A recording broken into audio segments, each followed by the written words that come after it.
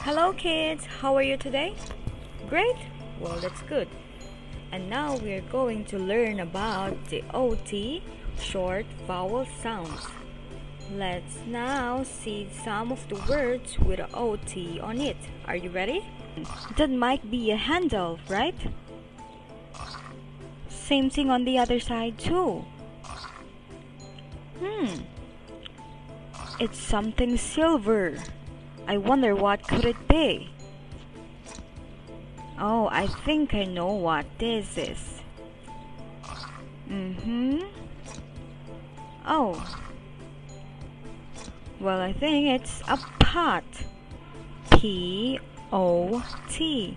Pot. Can you say that? Pot. Very. Oh, I see something brown. Hmm, a little more brown. Oh, there's a lot of color brown now.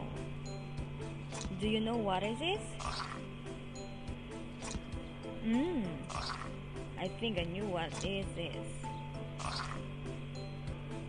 Oh, it's a knot. Knot. K N O T. Knot. Knot.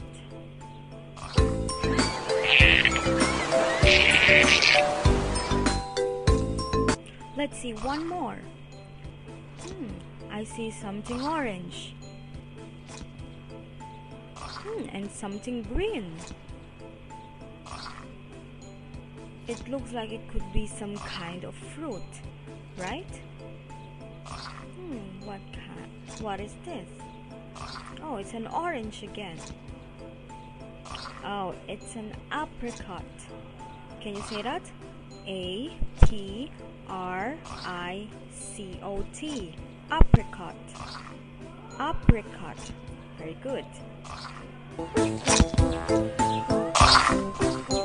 Can you remember all the words we discovered a while ago? What's that? Okay, we have a pot, knot, and apricot.